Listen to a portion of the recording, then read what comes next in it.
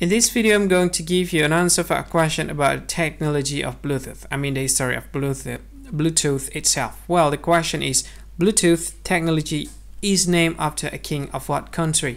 Bluetooth technology is named after a king of what country? Now I will give you a list of the options. The very first option is India, the second option is Britain, the third option is France, and the last option is Denmark. So from these four options, what do you think? Which one is the correct answer for the question? Now I will give you the correct answer and the correct answer for the question is Denmark. So that is the correct answer for the question, Denmark. Hi, thank you so much for watching this video. Now I want to tell you something. This is very important information part of this video, okay?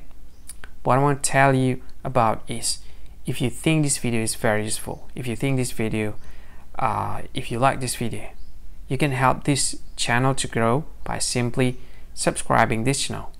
What you can do is just click this with red subscribe button that has a YouTube icon in it. You can do that to help us to grow. And if you think this video is a good one or you like this video like a lot a lot or you just like it a bit it doesn't matter you can click this this one like button to like this video.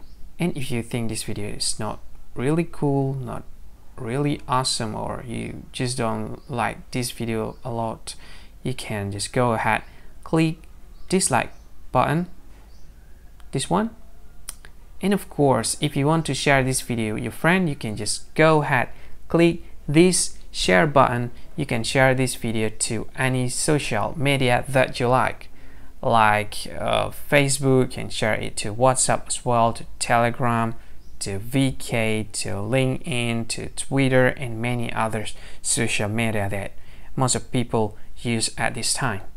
And if you want to watch this video later or you want to watch this, watch this again, you can click this one to add this video to playlist and you can play it later.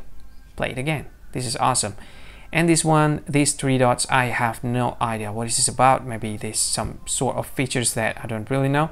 You can try it and maybe there's more features that can use uh, to deal with this video. Anyway uh, thank you so much for watching and see you again in another video. Bye bye thank you so much